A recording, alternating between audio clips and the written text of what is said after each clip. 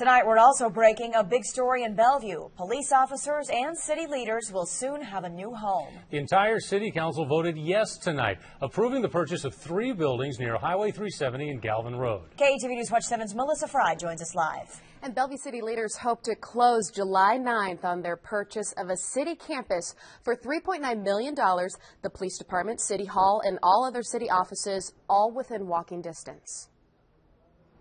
Take a look at the future home for Bellevue police and city leaders. The three Wall Street properties, all 113,000 square feet, sit right behind No Frills off Highway 370 and Galvin Road. The perfect location and perfect price, according to Councilwoman Carol Blood.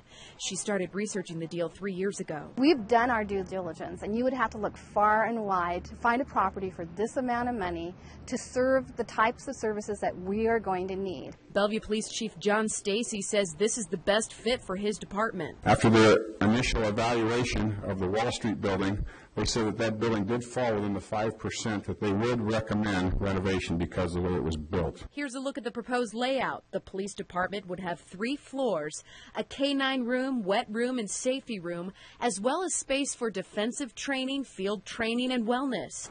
In the current location, built in 1939, city leaders say there are environmental hazards. Right now, we can't effectively protect our evidence because we're in such old buildings. There are issues like black mold and moisture, and we may go ahead and file the evidence away correctly, but we can't control the elements. The city finance director, Rich Severson, says moving is cost effective for taxpayers, saying it costs the city $2 million a year to stay where they are now, and that it would cost 20 million to build a brand new building.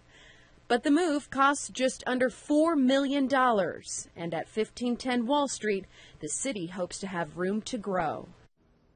And Bellevue leaders say it'll take a year to renovate the Wall Street properties. They say they'll use public safety bonds and municipal bonds without raising your taxes. And they'll also sell old land to help foot the bill.